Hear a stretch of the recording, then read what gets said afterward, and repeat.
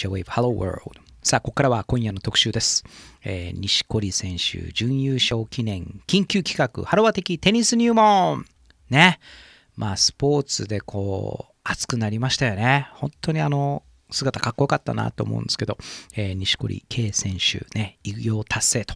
日本中がリスペクトセレブレイト、まあ、同時にテニスという競技もね改めてまた注目が集まってるんじゃないかなということで今夜はやるなら今でしょう。これも今じゃないですか。まあいいや。えー 今こそ知るべきテニスの面白さ、最新事情をですね、いろいろと探っていこうということです。スタジオには一緒にテニスの魅力を探っていただく強力な助っ人をお迎えしております。テニスプレーヤーならここへ行けというほどの有名店です。ウィンザーラケットショップ渋谷店の副店長島村光一さんです。よろしくお願いします。よろしくお願いします皆さんこんばんは。はいえー世界のテニスが集まる店、えーウィンザーラケットショップ渋谷店島村と申します。よろしくお願いします。よろしくお願いします。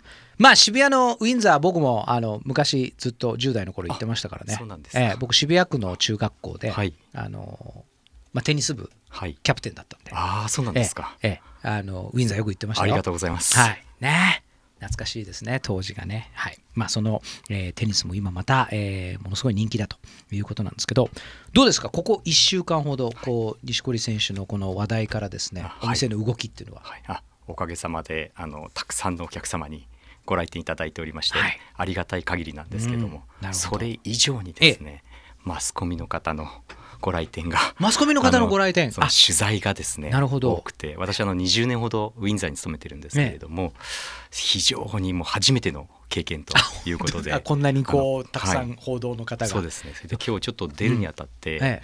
ちょっと数を確認してきたらですええ。ね、テレビ16件新聞9件となるほど。合計25件も来てるあの来たということで本当ありがたい話で。そして、はい。ラジオも、まあ、来てるっていうか、今日は来ていただいてるっていう感じでございますけどね。生でありがとうございます。はいいえいえ、よろしくお願いいたしおます。願いいたします。まあ、特に今こうお客さんは何を求めてやってくる方が多いですか？やはり錦織選手のラケットですね、スチーム95というラケットですね。これはウィルソン製のものですよねあ。そうですね。あ今こう今はい持ってきていただいてるのが、はいそうですか？あそうですねうわー今ちょっと私手に取らせていただいてますけどあれ？まあ僕ねテニスは今はもうなんていうんですか、本当にこうちょっとお遊び程度しかやってないんですけど、はい今のラケットってめちゃくちゃ軽い。そうですね。ですか？やはりかなり軽くなりましたね。ねはい。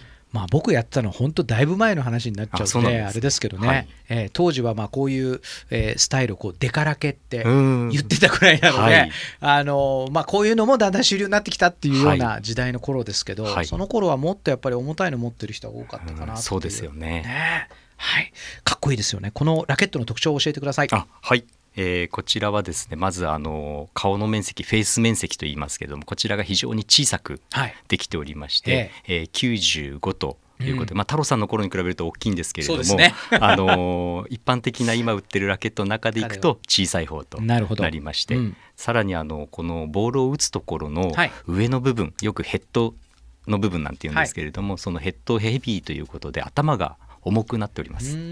そうすると遠心力があーなるほど。高くなるのでよりこうスイングした時のね。より、はい、そうですね。パワーが高くなると。なるほど。いうことですね。はい。どうですか？このガットって今どう違うんですか？あそうですね。ガットに関してはですね、あの錦織選手のモデルに関してはええ。2つの素材をはい。組み合わせていると。どうやって2つの素材を？あそうですね。一つは縦糸に、えーポリエステルとはい。いう素材で、うん。非常にスピンのよくかかるガットを貼ります。なるほど。で次に横糸、はい。こちらはあのナチュラルガットも太郎さんもご存知だと思うんですけども、牛の腸を使ってはい。作るあの天然物にうんなっておりまして、うん。非常にタッチが良くなるので、なるほど、はい。すごいですね。あ。こういうラケットを使って今テニスやってみたいですよね、まあ、だいぶこうやっぱりねこうギアも進化しているということなんですけどこれはもうなんか今売り切れになってたりとかしないんですか？おっしゃる通りでええ。売り切れということでもう。わじゃあもう今日は貴重な、はいね。そうです一ね本をちょっとスタジオにお持ちいただきましたけど、はい。さあテニスラケットすごいのは、まあ、錦織君モデルだけじゃないということで1曲お送りした後はですねさらにテニスラケットの最新事情に迫っていきます。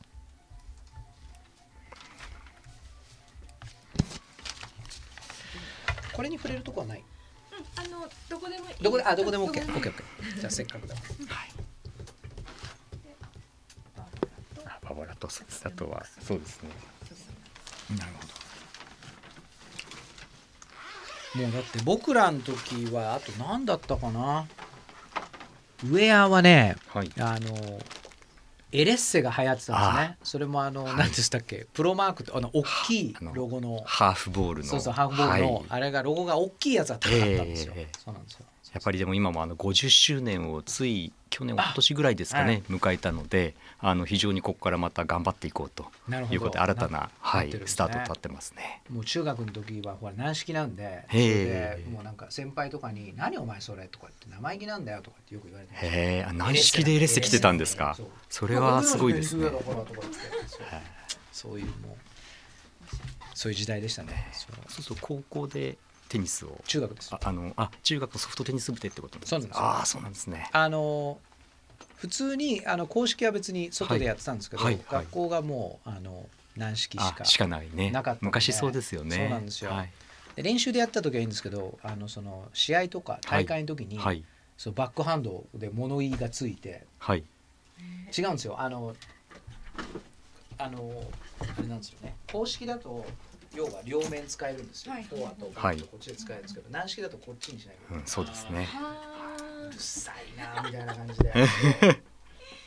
みたいなところでで途中から軟式打ちもこう使い始めてみたいな。でもあの公式でやっててかなりこうあのススピンをかける人だったので、うん。軟式とかだともう面白いようにかかっても楽しいんですよ。うん。多分あの僕僕が変に打ったもうやつとかもう打てないです。うーん。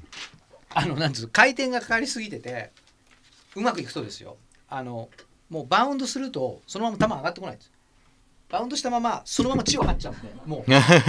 あのそうワンバンでと、はい。取れないっていう。その軟式のテニスではそういうことがそうですよでね。きて、そう。だからどっちかっていうとあのどっちかっていうとこうパワーストローク派だったんですけど軟式って思いっきり打てるので途中からもうもうカットばっかりでもう打ち方が変なのかなチョコ変なチョコ変なチョコ逆にかけないと打ってこれないんでうん。大会とかですごい嫌がられて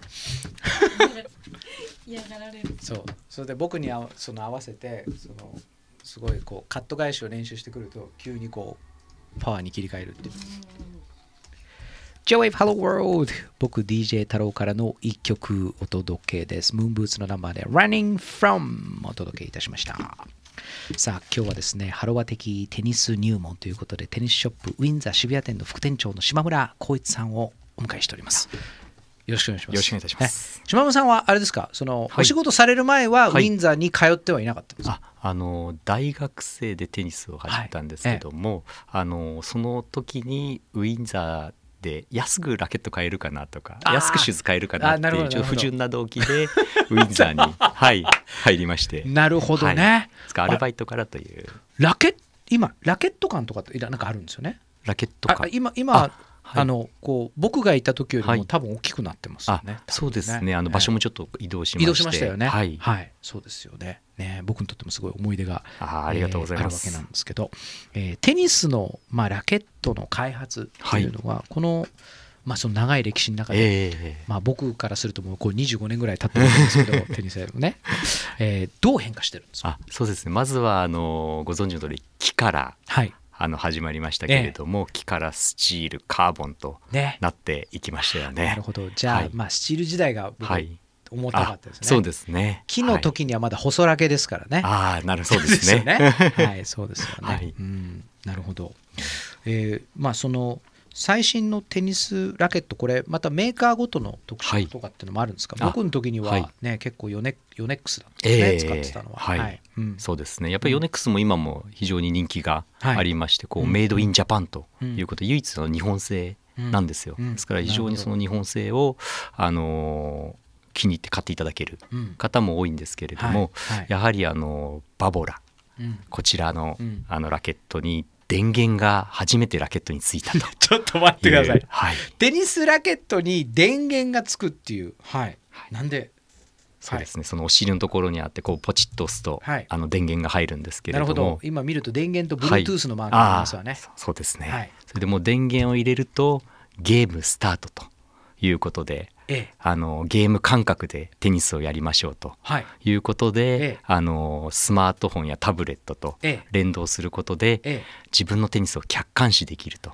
これはあれですか、うあのそのストロークと打ってるあデータをこう、あそうですね。蓄積しましってね。それがどれぐらい真ん中に当たっていたかとか。うわえそういうとこまで、スイングだけじゃなくて、そうですね。スポットまでちゃんと分かるんですか？スポットが分かったり、はい。あとはそのどれぐらいの時間やったかとはいいう耐久性、うん。あとはあのーコントロール、はい。どういうコントロールがついたかはい。というそれが あの数値化されまして。すごい。持ってる限りはそんな電源が入るようなはい。全く重さにはそうですね。感じませんけどね、はい。うわすごいですね。入れたにもかかわらず入れてないラケットと同じ重さにしたというのが今回のバボラさんのこだわりのなるほど、はい。とこれでお値段いくらぐらいするんですか？これで定価で7万円ほど、7, 7万円のところを、はい、ウィンザーでは？6万480円と。でーん、なっております。求めやすくなっております。あありがとうございます。いうことで。わあでもすごいですよね、はい。もうテニスをもっとこう科学的にね、えーチェックすることができる。はいあともう一つ？あそうですね。これは先ほどのちょっとヨネックスさんなんてお話をはい。したんですけれども、えーヨネックスさんとソニそうですーさん、ねこちらのあのコラボレートしたはい。ものになりまして、ここ下のこうくっつくそうですねこちらでございここにねますね。はい。これがあのやはりテニスの見える化とうん。いうことで、うん。あのこちらの方はあのカメラと連動するので、ね一球一球が、はい。はい、あの分かるというものになっておりますね。まあ、メーカー同士のコラボレーションっていうのもねはい、面白いですよね、はい。えー来週の火曜日紹介しようと思ったんですけど今日紹介したんであそうなんですか。あのここで、えーい いあの割愛させていただきます。いや全然いいですよ全然いいですよ。はい。そして今今のやったやつを全部そのあれですかそうですね。このタブレットで見ることができると。際に見ることがあそうでいうふうに出てきましてはい。くるんですね、こう時系列でうんうんうんなりまして、そうするとやはりコーチングなんかもやりやすくはい。なりますので。あれデータどんなふうに出てくるんですか？ちょっと見せてもらっていですか？こちらのはい。こういった形に教えていただきながら。この円グラフであそうですね。何球打ったかというの50がショットそうですね。50ショット打ちましたと、でそのうちの28球が、えーフォアハンドうん。で打ちましたと。えーすごい。で11球はバッ球バックハンドでなるほど。打ちました。サービスですとかそういったものもうんうんうん全てこう記録されるようになっておなってるんります。ですね。これだからもうあのその大会を目指している方とか、はい。まあ、学校なんかでもええ。いいですよね、こうそうススクールだったりとか。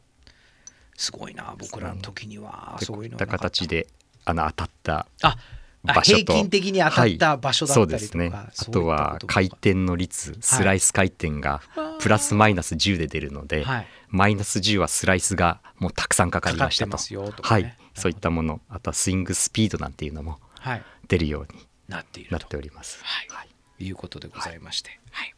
なんか僕もちょっとテニスしたくなってきましたね。えーさあまあラケットもいいんですけどね。ウェアのトレンドも気になるところでございますのでこの後また後ほどウェアのお話も聞いてみたいと思います。はい。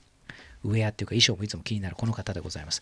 年取ってないんですよ。さっきあのライブの動画見たんですけどプリンスの曲いきましょう。Here's Clouds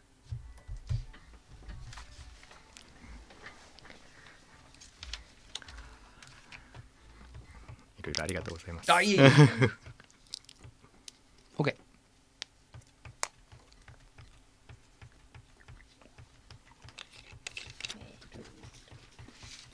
あそうなんですヨネックスのすいませんでした。あ、全然いいです。いいです。いいです。もう今日の方テニスでもいいです。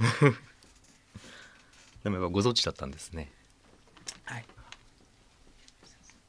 もう一今度もう一個あるんですよね。なんかあの二人で通信でデータ取れる。ああるんですか？ええまあ、別のメーカーまだ売ってないんですけど。あ、そうなんですね。結構面白いです。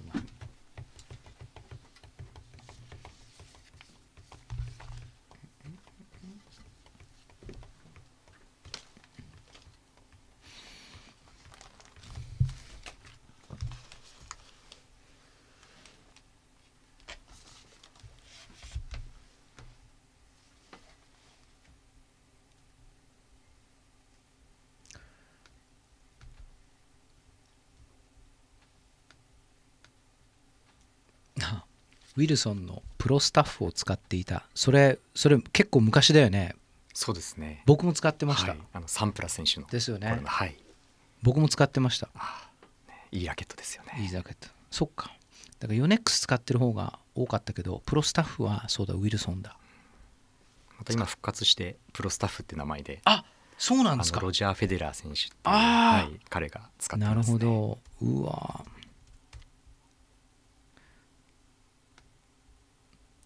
もう全然関係ないてあのテニス話としては、はい。やはりテニス部だったオカピーがずっとこうあテニプテニプリ話を。オカピーもテニス部だったっていうね。ねすごいですね。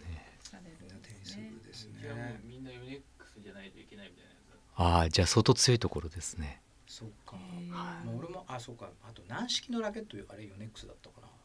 軟式そうだったよな。ウェアとかも全部ヨネックスを買えみたいああ俺、ん。ああったあった。そういうのあったけど俺らも全部みんなさ逆らってたね。男3人しかいなかったからね。そうそうそう。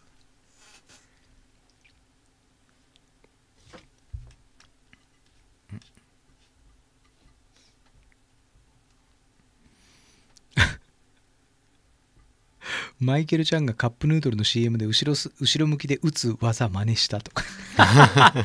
懐かしい。あったね。確かにこれじゃあ今日清さんと錦織君あれですもんねね。契約してるんでそうですよね。偶然ですけどね。ちょっとこの頃のあのマイケルちゃんはあの光源氏の山本純一にちょっと似てるなって思ったんですけどね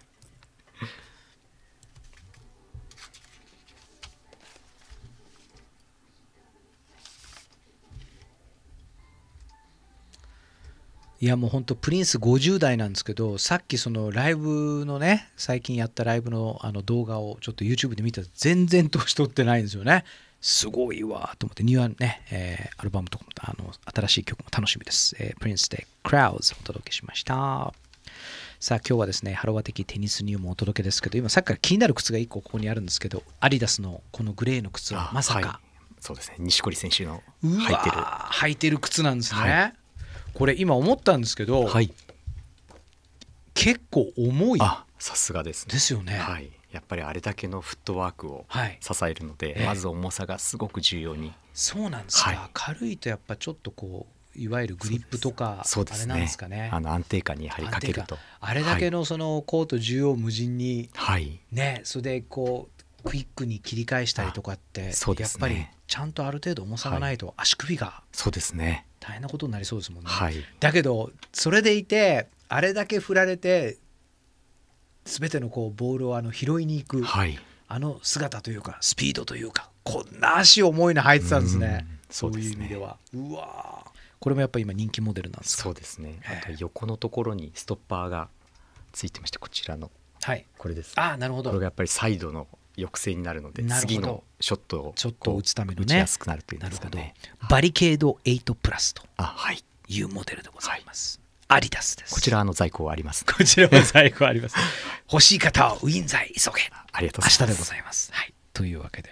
ねあとウェアは今どの辺が人気なんですか？あそうですね。ええ。人気としてはやはりあのナイキアディダスで以前からの,、ああのはいブランドの、ええ。やっぱりイタリアンブランド先ほどおっしゃっていただいたエレッセフィラ。エレッセフィラ。僕はもう中学校時代はエレッセでしたよ。あそうですあの学校ではなんかヨネックスキロみたいに言われてたんですけどあの男性が男子テニス部員が3人しかはい。入った年いなかったんですよ。はい。であと全部女子ばっかりで。え全然教えてくんないしなんかこうこきばっか使われてて、はもう関係ねえやつって。それこそ本当ウィンザに買いに行きました ありがとうございます。あの時あのなんかプロマークっていうあのエレッセのね半分のボールのやつの大きいロゴのやつがあったんです、あはい。それちょっとお高かったんですけどそれをもうクラスあのそのテニス部の男子3人でみんなで来てて学校で生意気だっつって、ねそうなんですね。言われてましたけど。あやっぱそのエレッセも。エレッセですね。うん。それでイタリアンブランドに一つ加わってこのディアドラと。ディアドラ。はい、はい。あのサッカーなんかでねええ。有名なんですけれども、うんうん。このブランドがあの今ぐっとあの伸びてきたというん。うんでしょうかね。